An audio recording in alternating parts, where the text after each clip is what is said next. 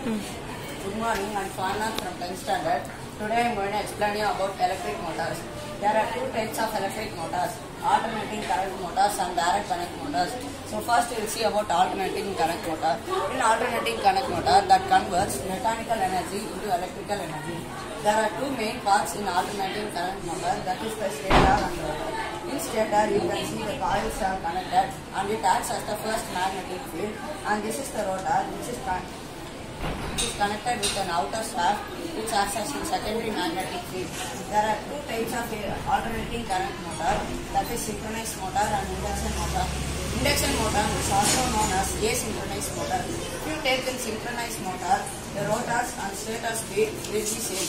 But in induction motor, the speed of rotor and stator will be different. So we will see some of the uses of alternating current motor. They are used in our household fan and electric pump. So we will DC motor. In DC motor, it converts electrical energy into mechanical energy. So it works under the phenomenon called electromagnetic induction. So next we will see how DC motor works. There are two permanent magnets which are called stator magnets and it is connected to an armature. It is a current carrying conductor and it is connected to the poles of the magnet. Next it is connected to the brush which is made up of copper and a good conductor of electricity. And it is connected to a commutator. The main work of the commutator is to reverse the flow of electrical flow in an DC motor and it has two terminals positive and negative. So next we will see about the difference between AC and DC motor.